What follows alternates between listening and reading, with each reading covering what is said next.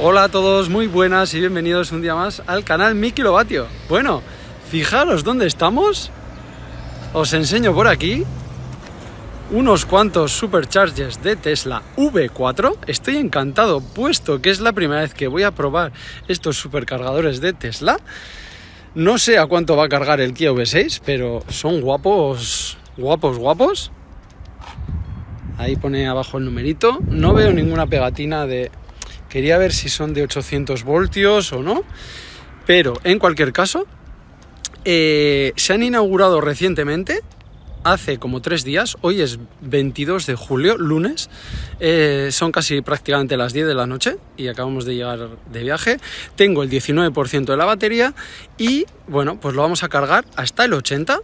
Bueno, 18% creo que tengo, concretamente, ahora lo veremos, puesto que vamos a aprovechar a medir la eficiencia de recarga. También acordaros que estábamos manejando una nueva tabla y a ver cuánto nos cobran, cuánto dice el cargador que nos ha enchufado a la batería, cuántas pérdidas tenemos y pues nada, eh, no pude acudir a la invitación de esta inauguración que se ha realizado hace tres días, os enseño por ahí la invitación, pero los voy a poder probar en cuanto he podido, así que venga, dentro, vídeo.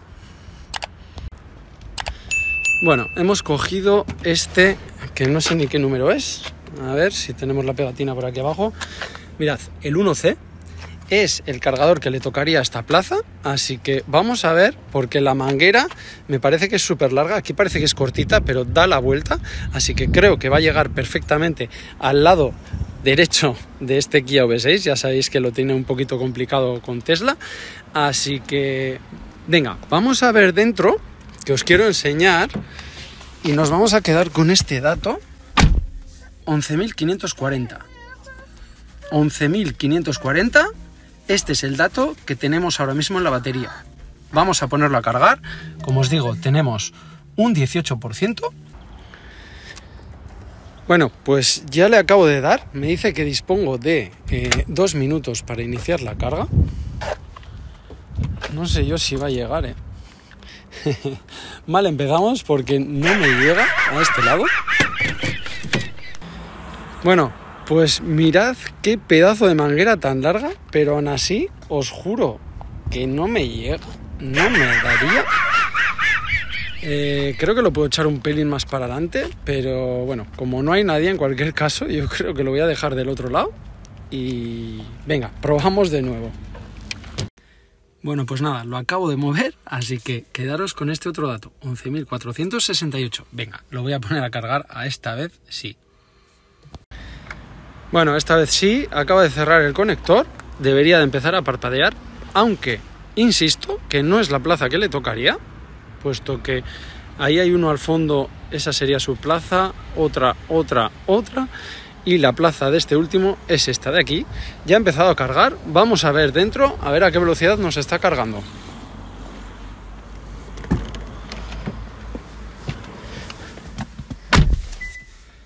Bueno, pues ha empezado a esos 93 kilovatios, 96, y yo creo que aquí se va a estancar, al igual que lo sube 3. No creo que vaya a haber ninguna diferencia. En cualquier caso, vamos a aprovechar a medir lo que os digo de la eficiencia de recarga. Vamos a ver si supera a los V3 o no, o incluso a los V2 o a Ionity. Así que veremos, veremos resultado. Venga, os voy contando. Esto me parece que se va a estancar aquí y venga, le hacemos seguimiento. Bueno, la verdad que estaba revisando el cargador y por aquí, no sé si lo oís, echa bastante aire caliente, como que refrigera ahí con estas rejillas de ventilación. Y el cargador, la verdad es que no pone ninguna pegatina. Quería ver si, si trabaja a 800 voltios, ahí hay una pegatina. Pero la verdad es que no veo como en otros cargadores que suelen tener las especificaciones técnicas. Bueno, vamos a ver cómo sigue la recarga. Tenemos un 33% ya, ¿vale? Ahí lo veis. Y nos dice que nos quedan 26 minutos hasta el 80%. no sé si estaré hasta el 80 o un poquito menos, quizás hasta el 70, puesto que ya veis que esto, que era un poco lo que más me preocupaba, está igual que en los V3, estancadito a 96 kilovatios y de ahí no pasa. Bueno, y tal y como veis, para hacer todas las pruebas iguales, no estoy ni con el aire acondicionado, ni la calefacción, ni nada. Bueno, calefacción ahora en verano complicado, así que nada, 65%. Como veis, le he puesto el límite a ese 70%, así que el coche parará esta carga, puesto que ahí sigue a 96 kilovatios estancado y sigo diciendo, y en otros vídeos ya lo comentaba, que no compensa cargar tampoco en estos V4. Seguimos en la misma situación de siempre y al precio considero que tenemos opciones mucho mejores de recarga. Esto lo hago como novedad, puesto que nunca había probado un V4 y para enseñaroslo en el canal, pero yo sigo evitando Tesla en mis rutas, salvo que no haya alguna otra posibilidad quizás cercana y sea mm, bueno, de las mejores alternativas, digamos, en cuanto a precio y no haya ningún otro cargador ni de Thunder, ni de Iberdrola, ni, ni algún otro, ¿vale? Así que nada, venga, vamos a hacer igualmente estos cálculos de la eficiencia, como os digo, una vez que pare la carga el coche, veremos cuánto nos dice Tesla que ha sacado y veremos cuánto realmente pues ha enchufado a la batería y os dejaré con los cálculos famosos.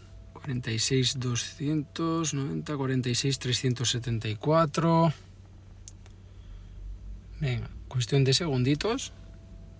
46 586. Mira, ya acaba de parar el coche.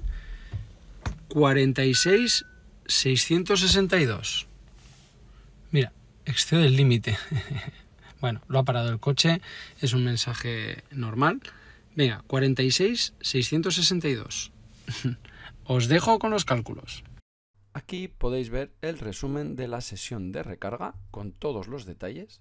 Bueno, pues tenemos esos 11.468 vatios hora iniciales, más lo que nos dice Tesla que nos ha enchufado a la batería, tendrían que ser en total 52.468 vatios hora, que restados al dato real que nos dice el coche que tenemos almacenado, nos da una resta 5.806 vatios hora, lo que representa un total de un 14,16% en pérdidas. Y por cierto, lanzo el dardo en forma de pregunta con esto de las pérdidas, ¿Cómo veríais haciendo la similitud entre combustible y gasoil que de cada 100 litros 12 o 14 litros a la hora de echarlos se perdieran y se cayeran al suelo? Y en la tabla, que aquí os muestro la comparativa con todos estos datos, se sitúa tercero de momento en estos poquitos superchargers que hemos realizado exactamente esta misma prueba, por delante de Ionity, Thunder segundo y sorprende esa diferencia con los Tesla V3, puesto que algunos me comentabais que son cargadores Tesla V3, pero disfrazados de V4 de momento en España, porque si además serían de 800 voltios, Entiendo que no tendríamos este problema en la recarga y ese estancamiento a esos 96 kilovatios, pero iremos probando más cargadores, así que nunca te pido nada, pero en este caso te pido que me dejes un buen like, por favor, porque me ayuda un montón, a ver si conseguimos muchos likes y que comentes abajo qué te parece, si quieres ver más pruebas de este tipo. Veis que aquí ya puedo soltar con normalidad.